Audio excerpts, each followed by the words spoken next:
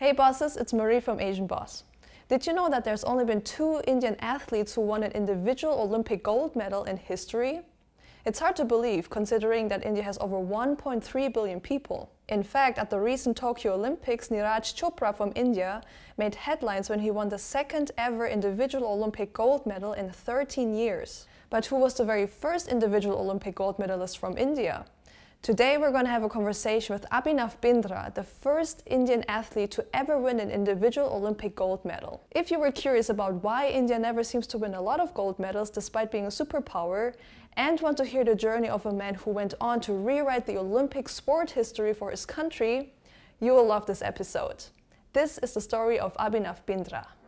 Thank you so much for joining today. You know, we really enjoy connecting with inspiring people from all over Asia and the world, you know, who can really empower the youth to stay curious. And you seem to have a great story on your own that we're very excited to hear about today. It's my pleasure to join in. Uh, thank you very much for the invitation. I look forward to an interesting conversation with you today. Yeah, sure. So, first of all, for our global viewers who might not be too familiar with you, how would you introduce yourself? former athlete, uh, five-time Olympian. Uh, you know, the Olympic movement played a huge role in my life. It's defined me uh, of who I am. I was uh, the first Indian to win a gold medal at the Olympic Games in an individual sport. It happened at the 2008 Summer Olympic Games in my chosen sport of air rifle shooting. What for me is most important is what kind of a person I became in the process of achieving that uh, success uh, on the field of play. Um, I, I, exited my investment of sorts. I retired from active sport in 2016. Uh, the Rio Olympics was my last uh, sporting event, and post that, I uh, run a business which is related to healthcare. Uh, I also run a foundation, the Abhinav Foundation, which works in areas of sport, in, in terms of empowering young athletes out of India, grassroots level athletes, young athletes, and um, leveraging a lot of science and technology into their training. I also am a member of the International Olympic Committee's Athletes Commission, uh, something which is uh, something I'm passionate about. So you're part of the IOC, right? Um, were you involved in the Tokyo Olympics this year? Yes, I was um, part of the Athletes Commission. Uh, it's an important commission there of the IOC because the IOC Athletes Commission really is the bridge between athletes uh, and, and, and, the, and the leadership of the organization. It's very important uh, to make sure that uh, the athlete remains at the heart and center of all decision making uh, uh, in, in regards to the Olympic world. Uh, so yes, uh, was involved uh, in Tokyo. I did not personally travel to Tokyo because there were a lot of restrictions on in Tokyo. I did participate uh, remotely in a few of our commission meetings to just make sure everything goes well, and which I'm happy to report that I think it was a very successful Olympic Games in, in very exceptional circumstances. Let's go back to the very beginning. Like, how did you even uh, get into the sport of shooting air rifles? Is that even a popular sport in India, or like, how did you get into it? Certainly not a popular sport when I got into it. Uh, it has, uh, of course, become a very popular sport uh, in the years uh, gone by. Um, it is a funny story on how I got into sport. Uh, I was, as a young boy, I actually hated sport and um, you know uh, my only talent at that as a young eight or ten year old boy was to miss physical education classes at school which was a, sports class in school. I was a little overweight to be very honest uh, hated any kind of physical activity. Uh, however during this time i was in a boarding school and i used to receive a letter every day from my father. Uh, and that letter had one thing in common, which was to try and play some sport. Of course, I didn't really listen to him and eventually got out of boarding school and moved to a day school. Uh, and I was just looking for a hobby, uh, looking for a pastime. Uh, and there I was introduced to my uh, first coach. Uh, um, and I went to my first formal training session. And I really loved the sport because uh, to be somewhat successful uh, in the in the sport, I had to just stand still and not uh, move around. So that was uh, why it interested me as a young boy. Um, it was it was it fascinated me because it's, it's a very individual sport. It's a very individual pursuit, um, and you know your, you own your success, you own your failure. It's in your own hands, and that aspect of my of this sport really fascinated me. Wow! So how old were you when you started? Uh, I was thirteen. Mm, okay. Is that considered pretty late for starting a specific sports or is it kind of normal? No, I think it's a, it's a decent age to start. Uh, 13, 14, I think is the right age to, to get into sport. I think research now tells us that, you know, when you're younger, you should actually play multiple sports. Oh. You should involve yourself into several kind of sporting activities because they build um, of course, it builds endurance, it builds balance, it builds coordination. So it's important to play many sports younger than that uh, and, and maybe specialize and pick a sport at age 13 or 14. Did you have any role models back when you were a kid who inspired you to dream big and actually compete at the Olympics? I did not have any particular role model, but my real role models were my mom and my dad. Uh, you know, uh, they they were tremendous believers in them. They were very hardworking individuals themselves in whatever they did in that work. And I saw them struggle and work hard every morning, and they really became a great inspiration to me uh, throughout my life. Uh, sport always had a big role uh, in my father's life. He did not play competitively, but always loved sport and always encouraged me to play some kind of sport. Uh, he was an athlete in his school times. He played hockey. My grandfather used to play uh, field hockey as well. Uh, and maybe that is the reason why he pushed me. How did you become so good at shooting air rifles then? Like, how many hours did you have to put in to practice? I started off by saying that I did not really have much talent. I did not have much talent physically. I was not athletic. I did not have balance. I did not have coordination. I even had bad eyes. Uh, but I certainly had one talent, and my talent was to work hard. Uh, and that is really what I did. Uh, I really believe hard work is a talent, dedication to, to your goals is another, uh, another talent, persevering is another talent. And these were my areas where I was, I was good at. So, um, you know, the shortest way to success really is hard work. And that is what I pretty much did for 20 odd years. Uh, my life revolved around sport. I would spend about 40 to 45 hours a week practicing it um, in, in, different elements, you know, uh, of course, the technical element, shooting, but also physical training, uh, also um, mental training, uh, working on uh, injury prevention, make sure my body was good enough to sustain for long periods of time. You know, the Olympics come once in four years, but for really for me and for most athletes, the Olympics really are every day. Because wow. what we try and really do is try and be better than what we were yesterday. Uh, and it is a continuous journey of uh, growth. It is a continuous journey of hard work and a continuous journey of getting better and trying to be the best that you can be. Uh, and pretty much uh, that is what I did. It was a lot of hard work, uh, a lot of blood, sweat, and tears. but um, looking back at it, that is what I really look back uh, with an immense amount of pride. That is what I really look back at uh, with a tremendous uh, um, amount of fondness. And, and, and, it was a wonderful journey, which was all about working hard. So hard work was what I did. In 2008, your hard work finally paid off at the Olympics, right? So if you could describe that moment um, where you realized that you won India's first individual Olympic gold medal in history, right? Especially because at that point you probably knew that there hasn't been anyone before you who achieved that.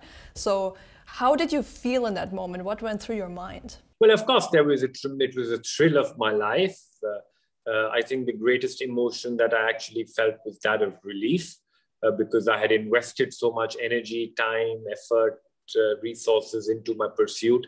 And I was just glad that I was able to achieve the success or the outcome that I had set myself up to.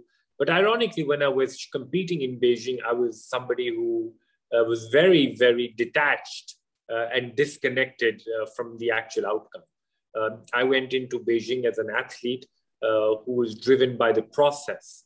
Uh, I was somebody who whose goal in Beijing was to be the best that I could in the 70 competition shots that I had. I had 70 opportunities uh, to be the best that I could be. It was all about learning to live in the moment, not living in the past and not uh, living in the future, but really trying to live in the present moment uh, and trying to be the best that I could be um, every single moment of, uh, of that process. And, and really, that was uh, what I really tried to uh, achieve in Beijing. And, and um, you know, when I shot my last shot of the Olympic final, which was a near perfect shot, I was just very, very happy uh, just to have been able to shoot the 10 best shots of my life in that Olympic final when it really mattered. The outcome was secondary. Uh, of course, it was an important outcome to, to, to get, but it was secondary. What was primary was the process. The primary was um, the focus on the process, and the primary goal was to be the best that I could be um, throughout that process of those 70 shots. Uh, we had 60 shots in, uh, in, in, qualification.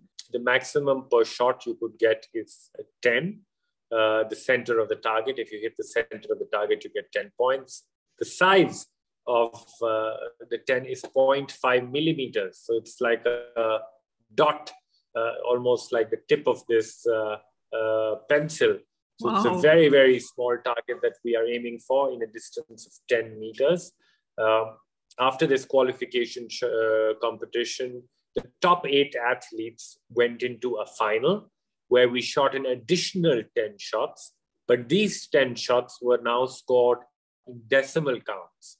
So, um, you know, if you just touched the, the center of the target, the dot, what I talked about, you would get a 10.0. And the center of the center, the absolute center uh, of this bullseye would get you a 10.9.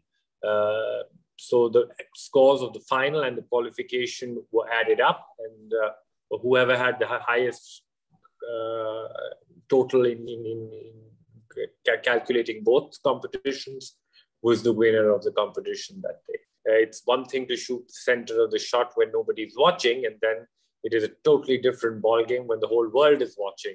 So uh, you have you also have to prepare for competition and, and, and the the environment that one faces in competition. I can imagine that if you are in a hall with that many people watching you at that moment, right? What if somebody coughs, for example, like just makes a wrong sound or something, and you can get easily distracted, right? So how do you keep that focus on that little target? Well, it is about uh, you know training for different environments. Uh, uh, in our shooting competition, we even have music playing in the background now. So wow. we have to get used to noise. We have to get used to audience. We have to get used to uh, many things that uh, can uh, take away that focus. It's about training. It's about training to really enhance your concentration skills in different environments. You know, one thing I repeat is one thing is to have the ability to focus and concentrate when there are when there is nothing at stake. But uh, the biggest distraction, and you know, you talked about noise and all of this. The biggest distraction really is your internal expectations. And when you go into competition, and when you're supposed to stand and stay as calm as possible and stay and stand as still as possible and you're shooting for the gold medal at the Olympic Games, your heartbeat uh, suddenly gets to 180 beats per minute. And then you're supposed to find that stillness of body and mind and shoot that perfect shot in that dot.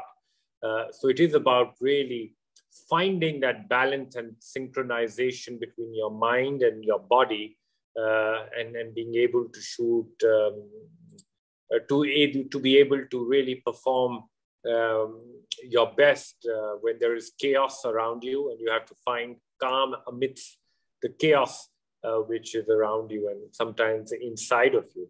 Because when you're under pressure uh, you know there's adrenaline uh, which is released in your body uh, when you have adrenaline your heart rate spikes You know, in most other sports and in, in most other sporting disciplines, you have a channel to out, uh, you, you know, you can use this adrenaline to run faster or, or, or things like that. But here, we are trying to do something where we are trying to remain as still and calm uh, as possible. So, how do you use this adrenaline?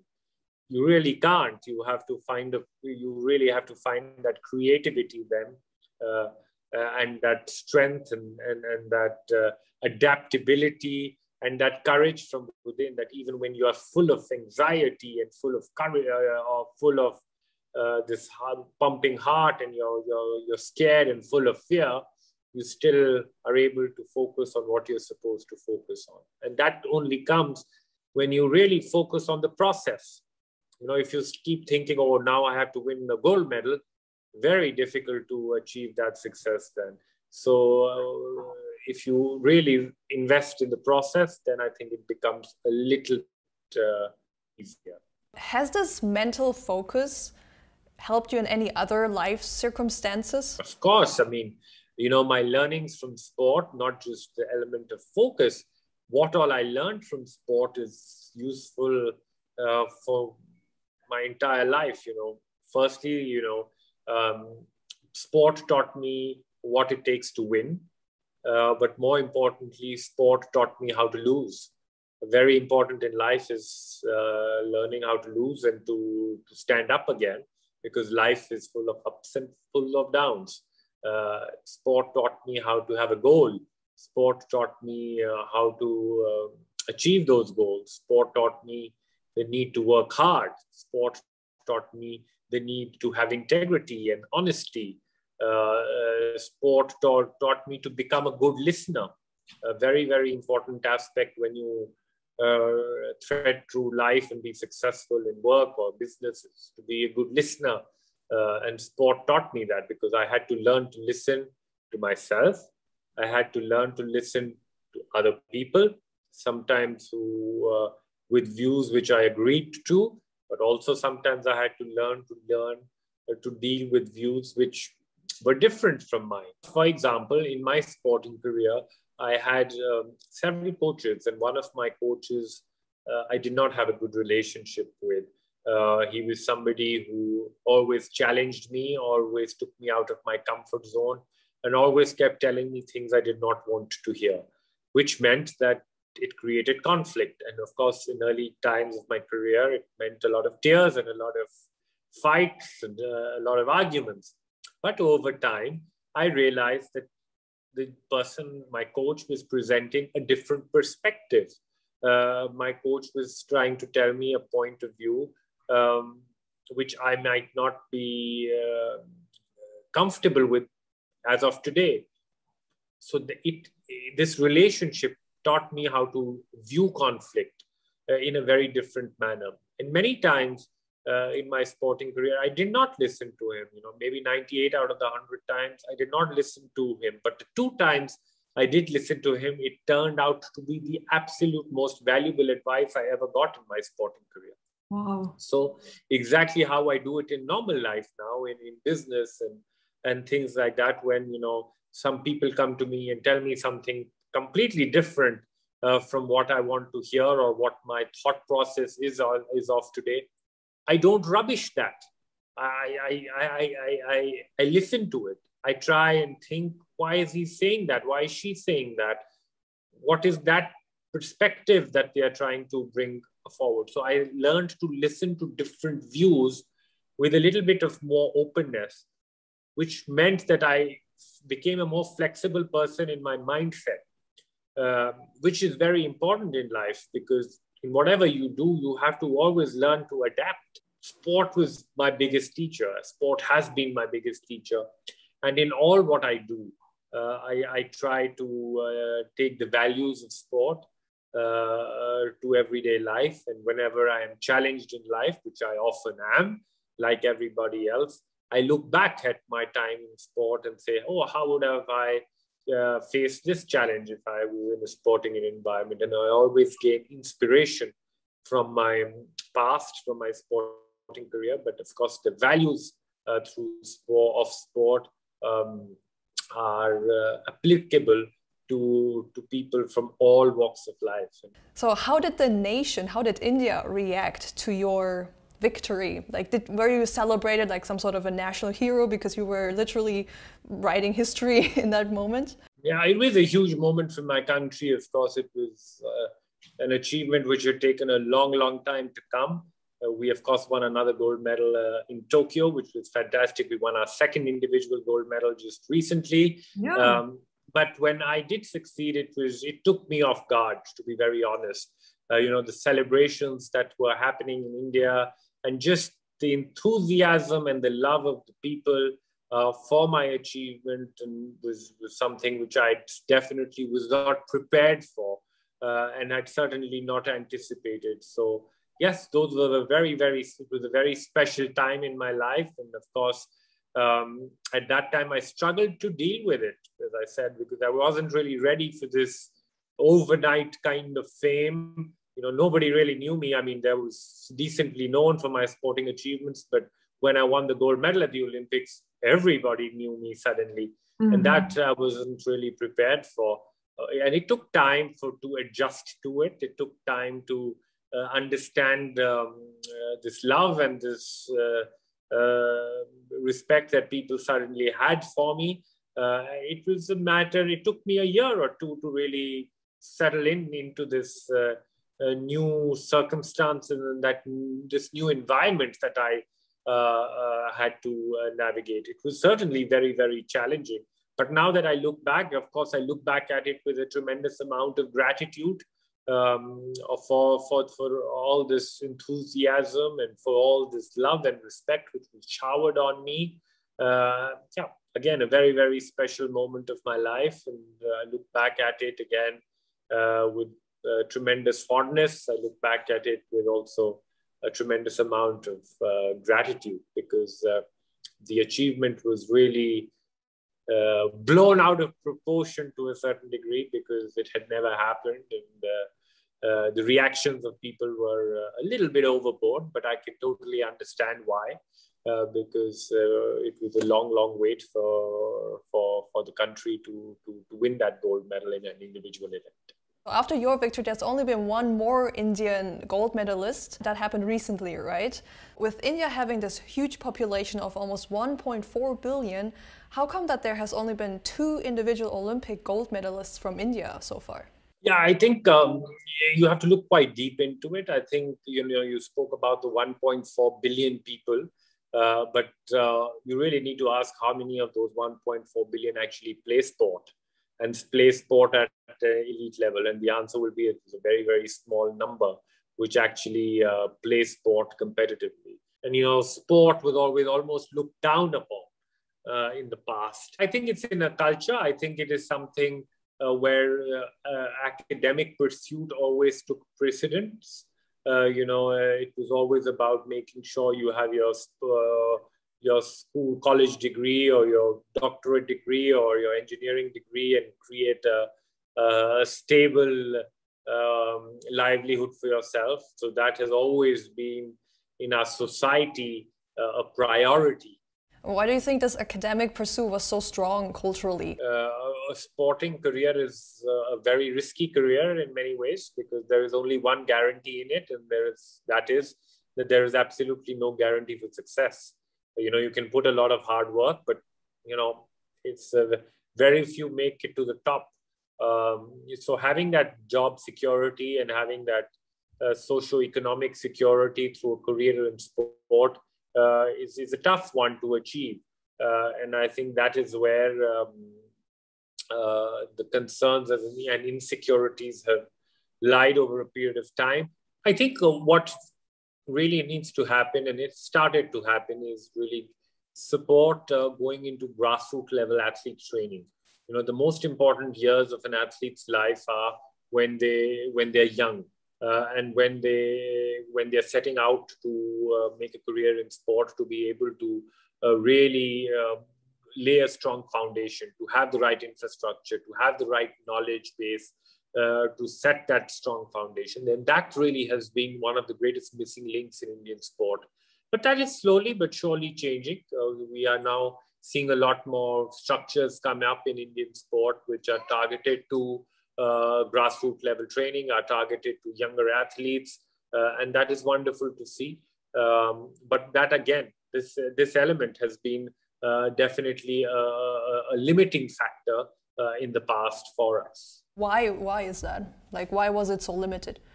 Yeah, I think uh, you know we, we we we come from a country where we have many other challenges. Uh, you know, uh, we and sport has not been uh, greatest priority, and that is that is understandable. I mean, we have challenges of education, of healthcare, of, of, of many other challenges, and and sport has been seen as a kind of a luxury. What we really need to actively do as a nation is to try and build a culture of sport in India, um, get more people to just experience sport for the sheer joy of experiencing and playing a sport, not for winning medals or anything, but just get more kids to play and experience sport for learning the values of sport, uh, getting the health benefits of sport, and just for the sheer joy and fun of playing sport. When those numbers increase, we will automatically see a number that that number increase uh, in the number of people involved in elite sport in India. And uh, when that will happen, I think success in Indian sport will will will uh, automatically will become a byproduct of this whole process. What I'm talking about. Um, we have seen a lot of improvements in in, in sporting uh, structures in India. I think the, the Tokyo Olympic Games was our history in our history, our most successful Olympic Games. I think we won uh, seven odd medals at the games, so it was success for us. Another gold medal as well. Uh, so I think we've we've um, we are on the right path. What is very interesting is we are a very young country demographically. 50% of our population is below the age of 23. So never ever in our history have we ever consumed sport to the degree that we are consuming sport as of today in terms of viewing sport and also in terms of playing sport. Mm. Uh, so I do see that the next decade or so um, in India will be a decade of sport in India, and we, uh, we will see much improvements in in, in, in, in, in sport in India, and of course also in our performances going forward. Even athletes now are able to, to, to make a better living and are able are given many more uh, opportunities uh, of course, if they, if they succeed, there are many financial benefits and financial rewards which are also showered on athletes. So it brings in that uh, financial security, which is important, which is uh, critical to life, right? I mean, um, fame and gold medals are great, but uh, uh, they necessarily don't bring food on the table. Right, right. Because um, I could imagine if, let's say, if you grow up in some sort of a like poorer neighborhood, for example, like the last thing you think about right now is to like win at the Olympics, right? So how do you, how much do you think like the socio-economic background of athletes play a role in this? I would actually, it's actually uh, to the contrary. Uh, I mean, if you look at um, many of our successful athletes, they are actually coming from very humble families and have very humble backgrounds because they are really starting to see sport as a way to better their lives. Hmm. It is an opportunity to better their lives because of uh, the financial uh, uh, benefits attached to success, jobs being offered if you make it to a certain level. So uh, uh, when you're at an urban urban level, urban elite, or an urban say you're living in an urban setting, you have many more opportunities, right? so that perseverance to stick to a sport for 10 years um, necessarily doesn't come uh, from from the elite. You know, very few uh, from those backgrounds actually invest that time and energy and effort for 10 years to, to gain anything. But what we are seeing now in India, if you map out our athletes, um, that a lot of them come from very humble backgrounds because they, they see this as a way to support their families. They see sport as a vehicle uh, to better lives, their own lives. So uh, which is wonderful to see. That's really showcases the real power of sport. Um, that uh, how it can influence people's lives in a positive way, uh, yeah. and how sport is absolutely blind to who you are, what your faith is, what your culture is, what your bank balance is, what your religion is. Uh, that is the democratic beauty of sport. Interesting. So, how was it in your case? Like, were you from a kind of well off family, or were you one of these people with a humble background? I was very, very fortunate that I came from a reasonably uh, well to do family, and they supported me materially to, to provide for facilities which at that point of time in my country did not exist and gave me opportunities to train and to compete. Uh, but more importantly, what they really did was support me um, uh, mentally and morally, and uh, um, that was invaluable. You know, during a long career of 22 years, there were many moments in this career where I felt hopeless Mm-hmm. Uh, and every time I felt hopeless, um, my parents and my family, my sister and everybody around me continued to see tremendous amount of hope in me. Another fantastic thing what they did was uh, they allowed me to make my own mistakes. They never interfered in my sporting career. So uh, I had to uh, take my own decisions, of course, with my coaches and experts who were involved in my training but at the end of it, I had to uh, be responsible for my success and for, for my failures. And that was invaluable as well, because when you're in an Olympic final uh, and you have to shoot the last shot for the gold medal, one thing is certain, uh, and that is that you're going to be all alone. So uh, uh, you have to find that strength and that determination from within. And this was the way my parents brought me up my parents always provided me with a psychologically safe environment, which allowed me to fail. Uh, and they were always there when I fell down and I needed help to get up again. Uh, you know, in, in sport, you fail many, much, much more than you succeed. Tactical mistakes, training mistakes, strategic mistakes. But it was all part of learning and it was all part of growth. Uh, and that is very important to uh, to be able to make those mistakes to be able to learn to, to really learn how to fail well. You know success in sport and success in life is all about failing well. Um, you know you have to learn to let go of the unwanted baggage that failure brings but you also have to um, learn from that experience uh, and then try and get better uh, at what you do. And of course uh, uh, you know, I talked about failure, but my life's biggest crisis was actually when I succeeded. Uh, you know, when I won the gold medal, that was the toughest time of my life because I was lost. One fine day, I achieved my goal and I was all dressed, but with nowhere to go. So it created that great success created a huge void in my life. I also had injuries, and those were difficult moments as well. Uh, and then uh, that is time. That is a time where you really need uh, support of your closed ones family and my parents, as I said, uh, supported me to a great degree uh, materially. But my uh, challenge, as I said, was a different challenge. It was not perhaps an existential challenge, uh, but it was a challenge to remain on course, on, on the right path for a long period of time, because I also had other opportunities and other options to fall back on, uh, and uh, which is for sporting success, you need to uh, really uh, be bloody minded to your pursuit for 10, 12 years.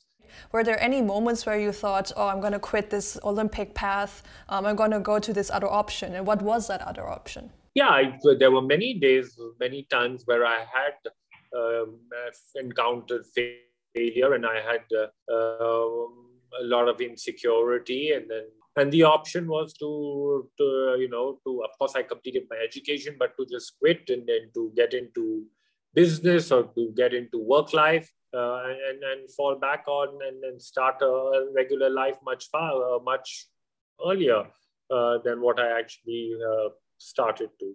So um, that option was always there but i remained true. I remained honest. I remained dedicated to my goal. I remained dedicated uh, to my struggle uh, for 22 years. And now that I've exited my investment of sort and uh, look back at my life much more dispassionately, that really is my greatest victory.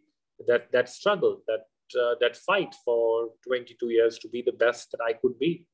What about the society's attitude towards the Olympics? Like, was it always kind of small or big? Like were, were Indians always passionate about the Olympics or maybe you started that trend to even make excite people? I think it's changed over the last two decades. I think this particular Olympics in Tokyo saw the greatest amount of involvement amongst the Indian public ever in our history in terms of engagement, in terms of viewership, in terms of enthusiasm for athletes, whether they win or whether they lose, just to support them and, then to back them up, which was just wonderful to see.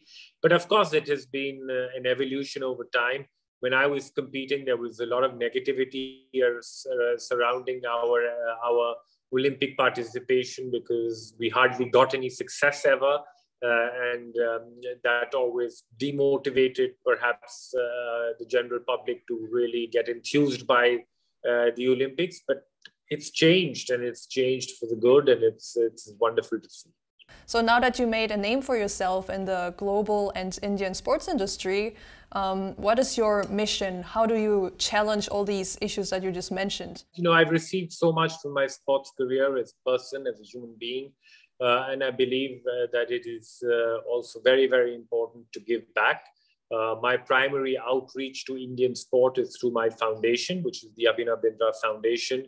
Uh, we work in three pillars. Uh, the first pillar being of intervention, where we give out a scholarship to very young athletes called STEAM. STEAM standing for Science, Technology, Engineering, Analytics, and Medicine. And through our network of high performance centers, which bring in global best practice and cutting edge technology, we provide for all these facilities for very young athletes through the scholarship program. So that is, of course, an element which we've lacked in India, and that is exactly with that intention to, to bring in those practices into India is why we started this particular project. I personally gained tremendously from these elements because I always saw great value in them as an athlete. I always had to look for facilities uh, from overseas, uh, which was always happened to become plan B because you know I was based in India and then to get access to this facilities I trained uh, overseas for a short period of time then I had to come back to India and then uh, I didn't have those facilities. So it was always a plan B but now really trying to work to make uh, those uh, facilities available and really make those facilities available for young athletes, for grassroots level athletes. Another form of intervention is a program called Sports for Her. It is a program designed for the female athlete to really nurture and, and train girls into sport. Uh, you know, the sports movement is also about achieving gender equality, and that is something I believe in, in, in, to a great degree. So we have a program focused towards girls, their needs, their specific requirements to achieve success in sport. The second uh, pillar of our work is education. It's not just about developing athletes, but it is also about developing the ecosystem that surrounds the athletes. It's also about developing world class coaches, it is about developing world class trainers, physiotherapists. The second element is leadership in sport. Governance in sport is something we've struggled to uh, bringing global best practice into in, in, into our country for a long period of time. So we set out a, a program which uh, brings in uh, thought leadership and brings in global best practice to help our administrators and leaders involved in sporting bodies uh, improve uh, their day-to-day structures and create high-performance sporting environments. We got in partnership with the University of Loughborough uh, of the United Kingdom, which is ranked the best sports university in the world and to help achieve this uh, particular goal. The other element of education is athlete mental health, a very stigmatized subject and uh, something I am personally very passionate about. I've done a lot of work personally in my role in the International Olympic Committee on the subject, being a member of their working group on mental health. But you know, within India, I'm doing a lot of work in advocacy and, and really creating, helping create psychologically safe environments for athletes to train uh, and competing. The last and final pillar of our work is using the power of sport for societal good.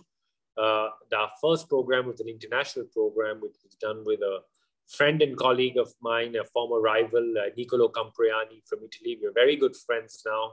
We set out to train three refugees to help them become athletes in our sport, chosen sport of shooting. Very happy to to tell you that two of them participated at uh, the Tokyo Olympic Games. And it, this project was a wonderful social success. For so long in their lives, they were only known as, known as one. They had one identity, which was that they were called refugees.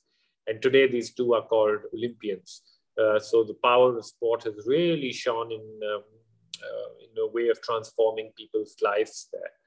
The last project, what we are attempting in India are, is really to take value education, uh, to really use the power of sport, the values of sport, and take it to a larger audience, whether they play sport, whether they don't play sport.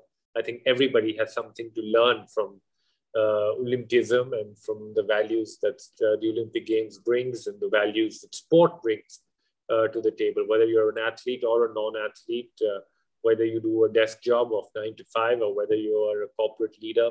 I think everybody can learn tremendous lessons from sport, and that is what we're trying to curate a, a youth leadership program which revolves around these values. You mentioned you're also very passionate about the athlete's mental health. Uh, if you could describe the issues that a lot of athletes are going through when it comes to mental health. Yeah, I think athlete mental health has been always a very stigmatized uh, subject in the world of sports, very stigmatized societally, societally as well, uh, on a social level as well. But I think there's always been the great misconception surrounding athletes, and that is that we are immune to any kind of mental health or mental health issues. We're mentally strong, and you know we're just really strong people and can't have any issues. But to the contrary, I believe that athletes uh, have far more triggers than you know people involved in other areas. You know, we have a constant. Uh, we have to deal with failure and success constantly. You know, people in jobs get appraised uh, once a year. You know, when your uh, performance uh, is looked into. Uh, but as an athlete, we're appraised every week when we go out and compete uh, and judged every week. So that has its tremendous pressures. There's pressure of, of, training. You know, the physiological pressure that comes with training also has a role mental, mentally if you don't recover well enough. There is uh, a lot of uh, travel, constant travel. Um, there's a lack of sleep, uh, you know, when there's constant travel. There's the pressure dealing with competition and expectations and anxiety associated with that. Uh, there are injuries associated in an athlete's career, which are tough moments mentally for an athlete as well. Uh, there's an impending end of a career. The transition out of sport is always a very challenging time in an athlete's career because uh, we, we or we live very unique lives. We almost have two lives. One life is an active athlete, and then we have to start life all over again, uh, which is very very challenging. There's a change in self identity, and it takes a takes time uh, to make that transition and adapt to those situations. So there are many red flags in an athlete's journey, uh, which could be potential uh, areas where uh, there can be mental health uh, issues and psychological stress that athletes face. Um, so uh, that is what the background is. I think what has happened over the last couple of years is a lot of famous athletes have come out of their own uh, problems and of the, have spoken up uh, about their own uh, challenging challenges, which I think has really helped in destigmatizing this subject and opening up important conversations with the whole ecosystem. Um, so it's been very, very critical. Also, the pandemic, I think, has been kind of a little bit of a silver lining in the destigmatization of mental health mm. because i think it's been such a challenging time for everybody in society uh, mentally uh, as well during the course of lockdowns etc and isolation where people have faced mental health issues perhaps many for the first time ever uh, in their lives and that again has brought in a certain degree of sensitivity appreciation and destigmatization of mental health. And that has also happened in the athletic world and in the sporting community. And we are seeing a much greater push now to actually uh, deal with the situation. Um, you know, uh, the sporting community and the sporting world, sports movement has perhaps been the greatest and greatest ambassador for physical health, right? Sport is all about physicality and being healthy and and there is absolutely no reason why we cannot also be the greatest ambassadors for mental health. Uh, as well. Mm. What was your low point in that sense? Did you have any like specific moment where you felt like your mentally like your mental health suffered so much? Uh, was there maybe a specific incident? Yeah, I think I, I the, the, Beijing Olympics, the success was a hard one to, to, to deal with. Suddenly, I had this great void you know, I was such a motivated person, and one fine day my goal was achieved, and that motivation level just uh, evaporated, and then I was lost, and I really didn't know what my next goal was, and it took time and energy, and that's where I really struggled mentally, and I uh, was uh, fortunate enough to access help, and I sought help uh, to get out of that uh, sticky situation that I was in at that point of time.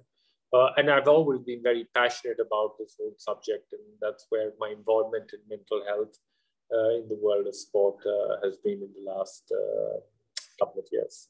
You know, we're all about self-development and you know making the best version out of yourself and it would be very interesting from to hear from you as a, a former olympic athlete what goes on in like how do you get that winner's mindset? We've been talking about this hyper focus like do you have specific methods that keep you keep your brain sharp that puts you in that winner's mindset? I think there are many ways to succeed and there are many paths to success and every individual has to find their own path and find their own way. But i would maybe like to talk about two or three elements which really helped me around along the way the number one element which really helped me was the ability to have learn and practice acceptance. Uh, you know, in many times in my sports career and in life, we are faced with many challenging situations where we need all that mental resilience to come into play. Um, and that normally happens when we are in a crisis, right? Uh, when we are in a difficult situation. Uh, and that's where we need to accept situations. Human tendency is that when we are challenged, we resist it Mm. Whenever something takes us out of our comfort zone, we resist it. Um, and that just makes it much tougher. So I really trained a lot of uh, the practice of just accepting the good, accepting the bad, just trying to view success and failure with equanimity, uh, not giving one more than the other, uh, looking at it as two sides of the same coin. The second element, what I would like uh, to focus on is practicing mindfulness and trying to stay in the moment. Um, you know, success in sport, mental strength and this winner's mindset, what you talked about is really having the ability to cut off distractions. Either, you know, what we human beings tend to do is live in the past or live in the future. We very, very, very rarely live in the present which really is the most important time. But really practicing it, practicing it in everything what we do, whether I'm eating lunch, I, I practice on, on, on just being mindful to what I'm eating and enjoying that moment and enjoying the food that I'm eating, whether I'm talking to you right now, really putting my best into this conversation and being mindful to it uh, for the few minutes that we have together. So just practicing it in all walks of life, making it a way of life. The last element that I'd like to talk about is the practice of uh, gratitude. Um, very, very important. You know, we again tend to um, sometimes take for granted the many small victories that we have along the way. We all set very large goals for ourselves. Um, and along the way, we tend to forget to pat ourselves on the back when we achieve smaller goals but it is very very important to achieve even smaller goals in in in in, in, in life uh, and and and acknowledge them uh, and also being grateful for what we have today uh, rather than always worrying about what we don't have mm-hmm. so combining these three elements really helped me uh, try and become the person that i was uh, that's what i tried to do so we have a lot of young viewers from India, from Asia, but also in Western countries. What would be your piece of advice to our viewers who might have big aspirations? Yes, I think, uh, you know, socially, uh, we've always been uh, tuned to uh, look at work and play as two very distinct and separate things. Uh, you know, I brought the principles of work to play for a long period of time in my life as an athlete, and that helped me tremendously. But I'd also uh, like to reverse that. And I'd like them and all your viewers to take the spirit of play to their work. Uh, and uh, there is tremendous value in that. You know, it'll help build friendships. It'll help build relationships. It'll help foster teamwork. Uh, it'll uh, and in, in turn, it'll help you achieve excellence. And most importantly, it'll keep up that childlike enthusiasm that is needed uh, to sustain success Uh, for a long period of time. Thank you so much. This was very refreshing, a very refreshing conversation. It was very great connecting with you, and I wish you all the best for your journey. Thank you. Great pleasure to be with you today.